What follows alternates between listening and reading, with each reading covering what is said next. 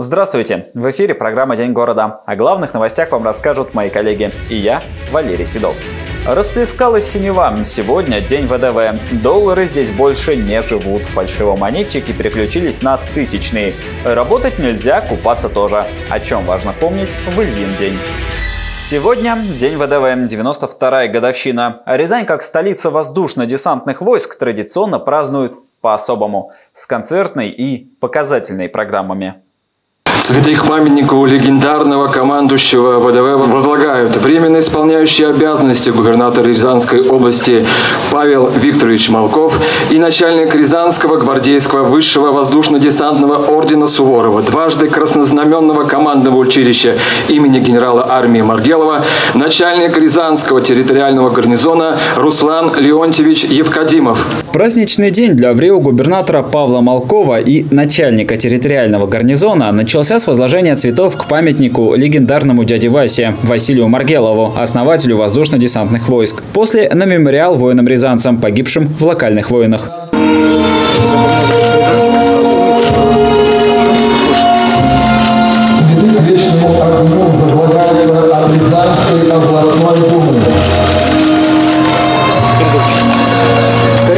Музей ВДВ встретил руководителя региона коллекции из более чем 50 тысяч экспонатов и множеством исторических фотографий, которые сделаны на важных этапах становления десантных войск. Удар – это именно то, что спасает от тех последствий, которые могут неким образом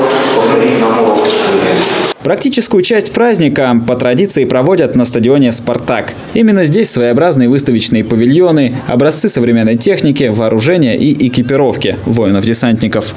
Сегодня значимый день для всей страны, но особенно он значим для нашего региона. Рязань – это столица ВДВ, это гордость нашего города. И в день воздушно-десантных войск здесь всегда особая атмосфера сотни, да даже тысячи офицеров-десантников из разных уголков России приезжают на этот праздник. То есть город, он, как и Рязанское училище ВДВ, для многих стал вторым домом.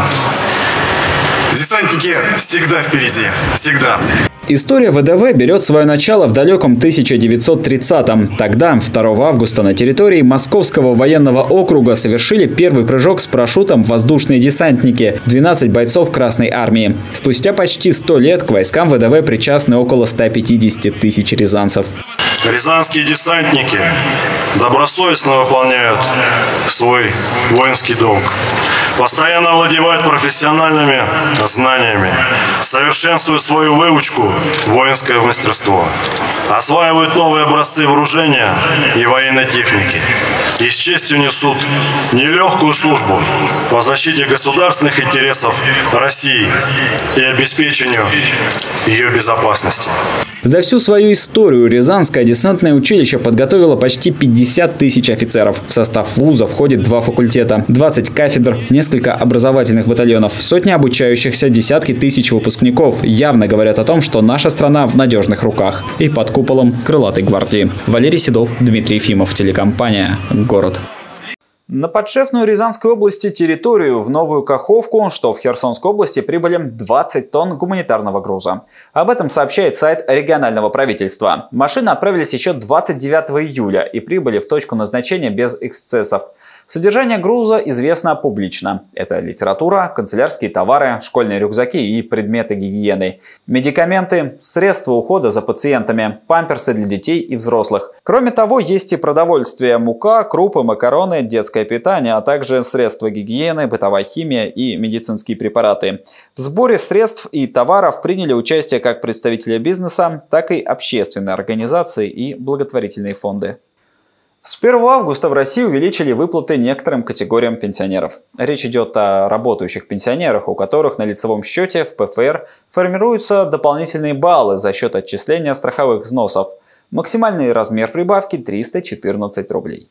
Мера затронет 7,3 миллиона человек. Чего еще ждать от августа, расскажем далее. Август для российских автомобилистов месяц особый. Он принесет как положительные, так и отрицательные эмоции. Ну, во-первых, резко подорожает сразу на 26% полис ОСАГО. Максимальная ставка теперь составит 7537 рублей в зависимости от автомобиля, водительского стажа и других факторов. Во-вторых, с августа усилен контроль над такси. Теперь к работе не допускают водителей, у которых не истек год со дня окончания срока лишения прав, а службы такси обязаны предоставлять ФСБ удаленный доступ к базам данных. Еще одна новость. Возвращается тревожная красная кнопка эры ГЛОНАСС. АвтоВАЗ уже начал выпуск первых автомобилей, оснащенных ею. С августа также стартовал полноценный запуск параллельного импорта автомобилей в Россию, а значит стоит ожидать появления на российском рынке целого ряда громких новинок. В числе последних будут как китайцы, так и модели британских и немецких брендов, включая электрокары от Mercedes-Benz и Audi.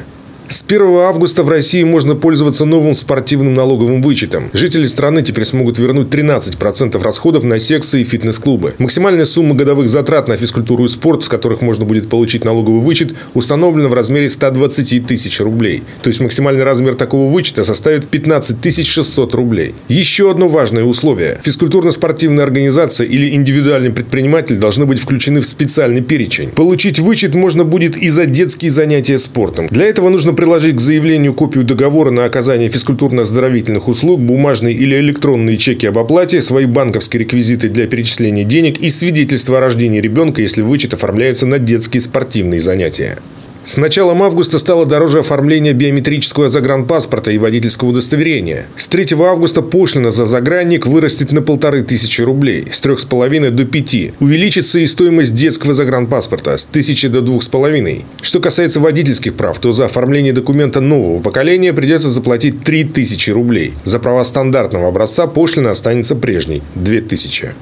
С 1 августа у прибывающих в Сочи самолетом появился новый способ добраться до Анапы без пересадок. По данному маршруту начнет курсировать поезд «Ласточка», на который можно будет сесть прямо в аэропорту. Состав будет ежедневно выезжать в 12.48 и прибывать в 21.23. Обратно «Ласточка» отбывает в 5.30 утра и прибывает в Адлер в 13.39. В пути предусмотрены остановки на станциях Адлер, Хоста, Сочи, Дагомыс, Лоу, Лазаревская, Туапсе, Горячий Ключ и Краснодар. С 25 августа вступает в силу поправки в Федеральный закон об оружии, который уточняет основания для приобретения гражданского огнестрельного нарезного оружия. Ремонтировать его можно будет не только на заводе-изготовителе, но и в частных фирмах, получивших на это лицензию. А передавать им стволы теперь только по разрешению Росгвардии. Общее количество купленного охотничьего спортивного огнестрельного нарезного оружия, а также огнестрельного гладкоствольного ограничили пятью единицами по каждому виду. При этом у одного человека не может быть больше 10 стволов в арсенале. Партнер программы «День города» – выставка свежей рыбы и икры. Самые вкусные, а главное – свежие деликатесы ждут вас на первом этаже торгового центра «Премьер» у центрального входа. И снова поговорим о фальшивых купюрах. Их количество, по данным Банка России, идет на спад. А липовые печатники стали более избирательными. К доллару их интерес по понятным причинам упал, а вот с российскими купюрами они продолжают мошенничать. Поддельных пятитысячных стало меньше. По сравнению с прошлым годом почти в половину. Правда, ажиотаж красненькой это никак не уменьшило. Она по-прежнему у фальшивомонетчиков в особом почете. Но возросла и популярность двухтысячной. Их стали выявлять все больше. Всего с января по июнь выявлено 137 поддельных банкнот. Это на 11,6% меньше, чем за аналогичный период прошлого года. Каждая вторая подделываемая банкнота – это пятитысячная купюра. 52 единицы поддельных банкнот номиналом 2000 рублей. 15 единиц тысячерублевых купюр, три банкноты номиналом 500 рублей, одна 100-рублевка какой-то момент у фальшивомонетчиков проснулась любовь к монеткам. На миг, ну, очень короткий, потому что за полгода выявлена всего одна поддельная пятирублевка. Популярность упала и у валют иностранных государств. Если за первые полгода 21-го эксперты выявили 24 подделки, то в этом году только две. Сотрудники Центробанка напомнили, как отличить настоящую купюру от фальшивой. Это на просвет мы видим водяные знаки, на ощупь Э, текстура букв, выполненных на банкнотах, э, немного отличается от э, основного состава банкноты. А также при изменении наклона купюры мы видим изменение цвета знака, изображенного на купюре. В помощь по определению подлинности есть приложение банкноты Банка России. Оно подсказывает, на какие признаки и у какой купюры стоит обратить внимание. В приложении есть все номиналы и их модификации разных лет, что сводит шансы быть обманутым на ноль. Валерий Седов, Михаил Лазуткин, телекомпания «Город». 2 августа отмечают День пророка Ильи. Этот праздник посвящен самому первому святому, которого стали почитать на Руси еще в IX веке. Далее расскажем, почему в этот праздник нельзя купаться и в какие приметы о погоде верили наши предки. Дохристианские и раннехристианские славяне считали Илью повелителем дождей, молний и плодородия. Его образ гармонично переплетался с образом бога-громовержца. Святому молились об избавлении от засух и хорошем урожае. А благодаря совпадению праздничных дат Илья Пророк ныне считается покровителем воздушно-десантных войск в России. Согласно Ветхому Завету, Илья жил в IX веке до нашей эры в Израильском царстве, а родился в городе Фивы. С малых лет он посвятил себя Богу и ревностно защищал христианскую веру. Илья жил в пустыне, проводил время в посте, молитве и благочестии. За свою жизнь Илья сотворил немало чудес. Воскресил отрока Сарепской вдовы, не звел на землю небесный огонь и даже говорил с самим Богом. За свою особую праведность и преданность вере Илья был вознесен на небо живым в огненной колеснице. Христиане почитают Илью пророка и молятся ему по сей день. Святого просят о богатом урожае, семейном счастье и решении денежных проблем. С давних времен в Ильин день было принято устраивать совместные застолья. Считалось, что в этот праздник нужно помогать бездомным и малоимущим,